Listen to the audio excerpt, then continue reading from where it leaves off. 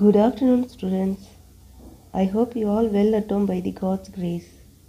Today in this class, I'm going to revise chapter 1 for our midterm exam. In chapter 1, I have revised here some of the important questions, so all you should listen carefully and get practice for the exam.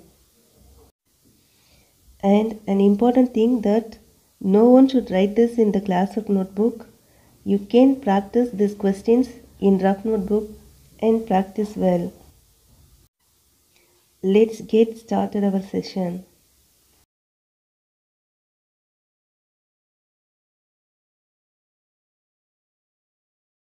See the exercise number 1.5, question number 1. One night in Kashmir, temperature is five, minus 5 degrees Celsius. Next day, the temperature is 9 degrees Celsius. What is the increase in temperature? Increase in temperature is nothing but the difference between the temperatures, which means we should subtract the temperature of first day from the temperature of the next day. Therefore, the increase in temperature is equal to 9 degrees Celsius minus of minus 5 degrees Celsius. Minus of minus means minus into minus which is equal to plus. So we need to add 9 degrees Celsius with 5 degrees Celsius. When we add 9 with 5 we get 14 degrees Celsius. Hence the difference in temperature is equal to 14 degrees Celsius which is the required answer. Now let's see question number 3. Scientists use the Kelvin scale as an alternative temperature scale to degrees Celsius. By the relation T degree Celsius is equal to T plus 273 Kelvin, convert the following to Kelvin. Let's see the answer for the question. Let's take the given temperature T is equal to minus 275 by the given relation T degree Celsius is equal to T plus 273 Kelvin. Taking T as minus 275 degree Celsius, we get the relation as minus 275 degree Celsius is equal to minus 275 plus 273 Kelvin which is nothing else a simple subtraction. We have to subtract 275 from 273 by using the value of t in the given relation we get minus 275 degrees celsius is equal to minus 275 plus 273 kelvin which is equal to minus 2 kelvin and which is the required answer for the given question by using this method, we can easily convert the temperature from Celsius to Kelvin. Next, let's see the question number 7. Kamachi, a fruit vendor, sells 30 apples and 50 pomegranates. If she makes a profit of rupees 8 per apple and loss rupees 5 per pomegranate, what will be her overall profit or loss? Let's see how to solve this problem. Number of apples Kamachi sold is equal to 30. Profit per apple is rupees 8. Therefore, profit for 30 apples is equal to 30 into 8 which is equal to rupees 240. To get the total profit of 30 apples, we should multiply 30 by 8. So 30 into 8 is equal to 240. So the net profit for 30 apples is equal to rupees 240. Now we need to find the total loss on selling 50 pomegranates. To get the loss amount, we should multiply 50 by 5. Here, this minus indicates the loss on selling pomegranates. Hence, the total loss amount is equal to rupees 250. To get the overall profit or loss, we should add the profit and the loss together. Here we could find that when we add minus 250 plus 240, we get minus 10. Here this minus indicates loss on selling. Hence there is a loss rupees 10 on selling the fruits. Next, let's move to the next question. Question number 8. During a drought, the water level in a dam fell 3 inches per week for 6 consecutive weeks. What was the change in the water level in the dam at the end of this period? Let's see how to solve this problem. Water level fall per week is equal to minus 3 inches.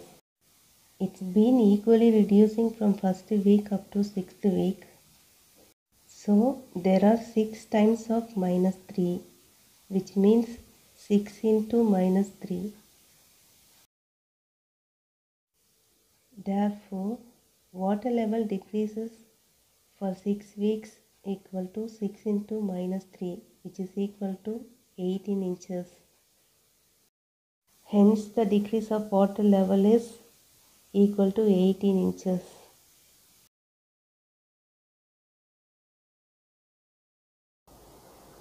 Plus into plus which is equal to plus minus into minus which is equal to plus plus into minus which is equal to minus minus into plus which is equal to minus. Let's see question number 10. Kalaivani had rupees 5000 in her bank account on 1 1 2018. She deposited rupees 2000 in January and withdrew rupees 700 in February. What was Kalaivani's bank balance on 1 4 2018 if she deposited rupees 1000 and withdrew rupees 500 in March? Here deposited is nothing but adding amount with the initial amount which refers plus and the withdrawn is nothing but the amount which subtracting from the initial amount which refers minus. Therefore total bank balance is equal to total deposits minus total withdrawn.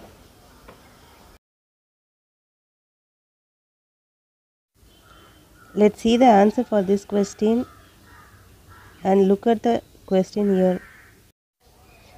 According to the problem, initial bank balance is equal to rupees 5000. She deposited rupees 2000 in January.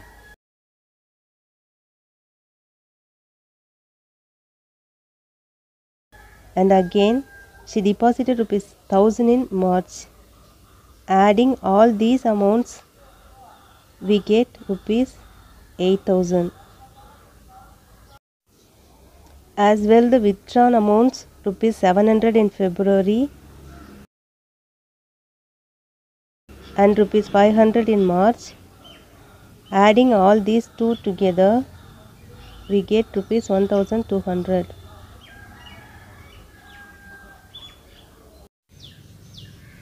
Therefore, the total bank balance is equal to total deposits minus total withdrawn which is equal to rupees 8000 minus rupees 1200 which is equal to rupees 6800.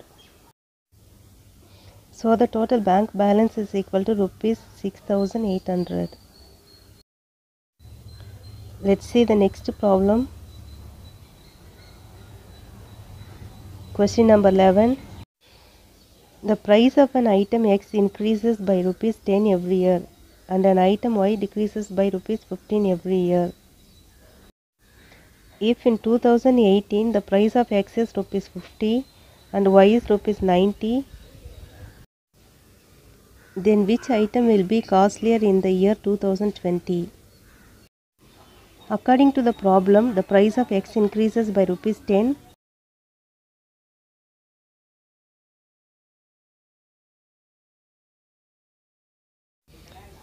and the price of Y decreases by rupees 15 every year.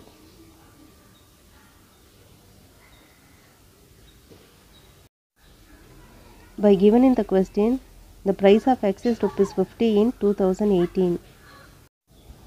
In 2019, rupees 50 plus rupees 10 which is equal to rupees 60 as X increases by rupees 10 every year. In 2020, 60 rupees plus 10 rupee which is equal to 70 rupees. The price of Y in 2018 is equal to rupees 90. In 2019, rupees 90 minus rupees 15 is equal to rupees 75. In 2020, rupees 75 minus rupees 15 is equal to rupees 60.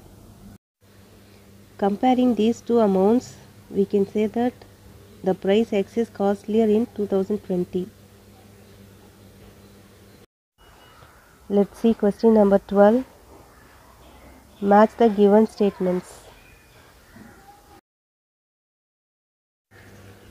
Question number 1 comes under the closure property of addition.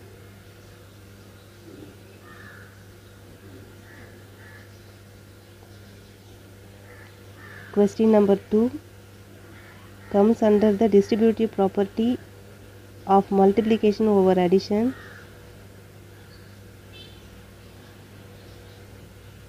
Question number 3 comes under the property of additive identity. Question number 4 comes under the commutative property of multiplication.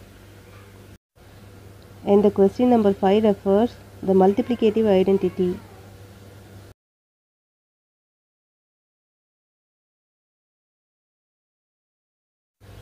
Look at the answer carefully and take it down in your classwork notebook.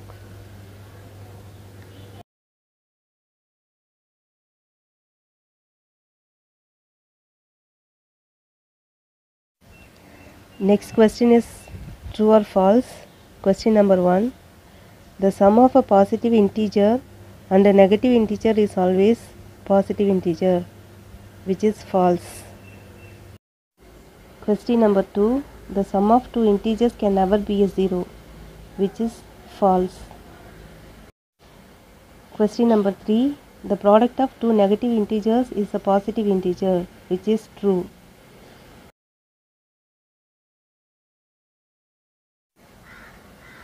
Next question number 4. The quotient of two integers having opposite sign is a negative integer, which is true. And question number 5. The smallest negative integer is minus 1, which is false.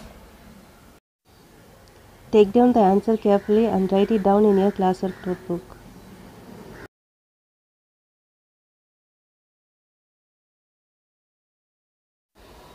Next question number 14. An integer divided by 7 gives a result minus 3. What is that integer?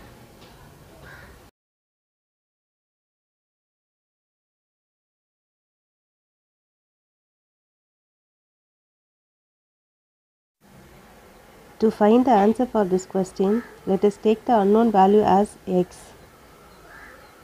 By the given problem, the unknown x is divided by 7 and gives minus 3.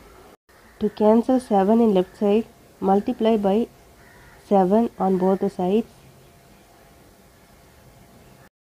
7 is getting cancelled as 7 is divided by 7 is equal to 1. Therefore, the integer x is equal to minus 3 into 7 which is equal to minus 21. Hence, minus 21 is the required integer.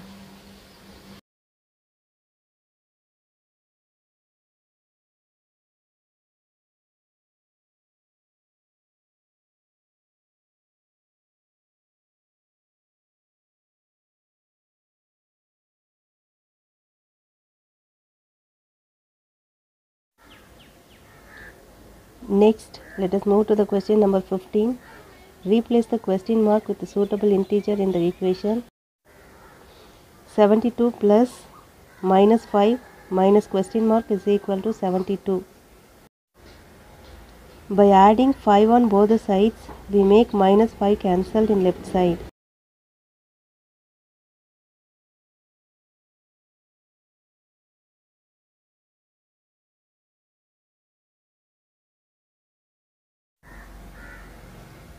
And then subtract 72 on both the sides we get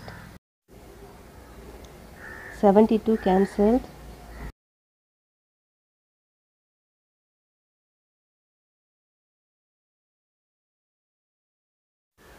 that is minus question mark is equal to plus 5 which implies question mark is equal to minus 5 which means minus 5 replaces the question mark.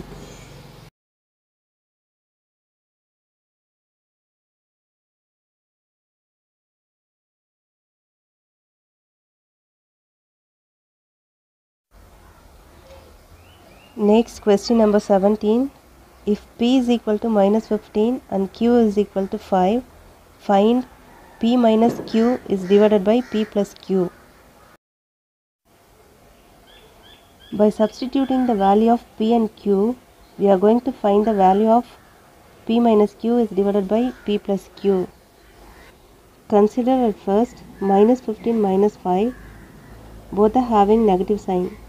It should be added and in minus 15 and plus 5 both the numbers are having alternative sign. It should be subtracted.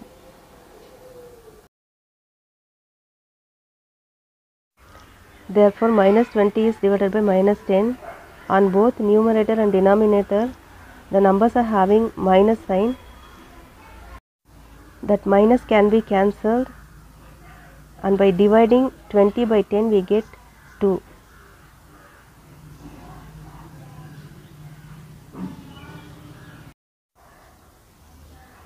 Which is the required answer.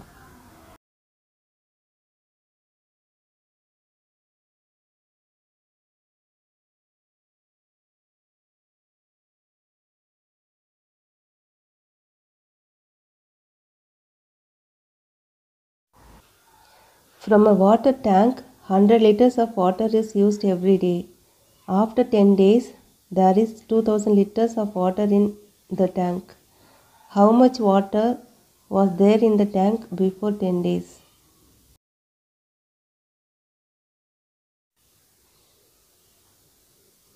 According to the problem, water used for one day is 100 liters. Therefore, water used for 10 days is equal to 100 in 10 times 100 into 10 which is equal to 1000 liters. After 10 days, water left in the tank is equal to 2000 liters which is given in the question itself. To get the initial amount of water, we have to add these two amount of water which is 2000 liters plus 1000 liters is equal to 3000 liters. Therefore, initially amount of water will be 3000 liters.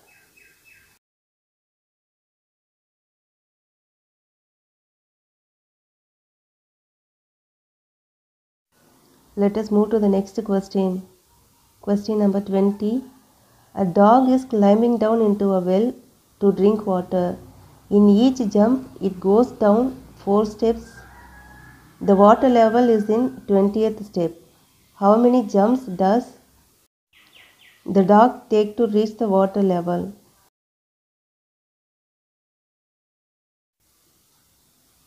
According to the problem, the water in the well is at 20th step.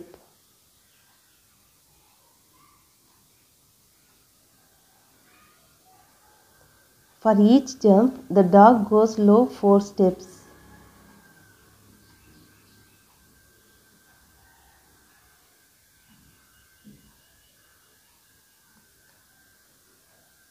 To get the answer, we have to divide 20 by 4. Dividing 20 by 4, we get 5.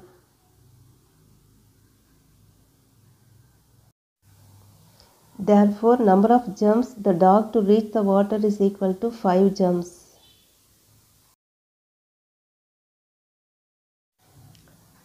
Let's see the question number 21.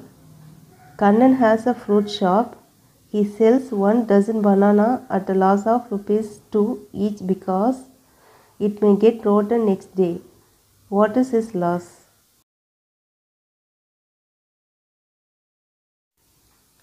Let's see the solution of this problem. 1 dozen banana is equal to 12 bananas which we know very well. He sells 1 banana at a loss of rupees 2. For 12 bananas 2 rupee 12 times which is equal to rupees 24. Hence he lost rupees 24 by selling 1 dozen bananas. Next, let's see question number 22. A submarine was situated at 650 feet below the sea level. If it descends 200 feet, what is its new position?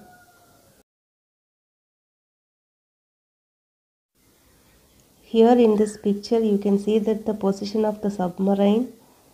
The submarine is at first in the position of 650 feet below the sea level. If it descends some more 200 feet below its position, what will be its new position? That's what we have to find.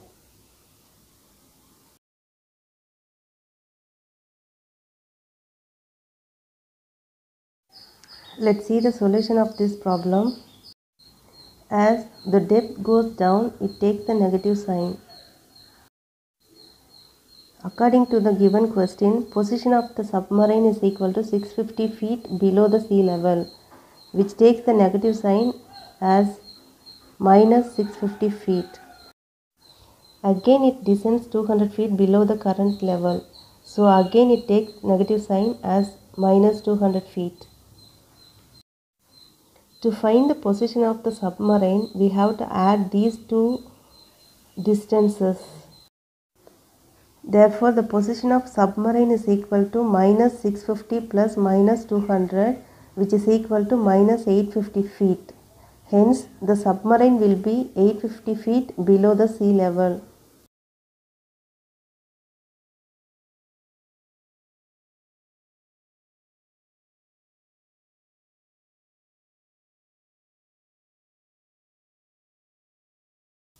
Now this is the time for our assignment.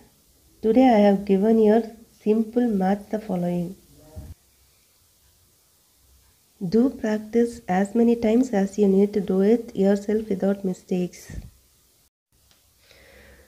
With this, we have come to the end of this class. We'll meet in the next class. Till then, stay home, stay safe, take care.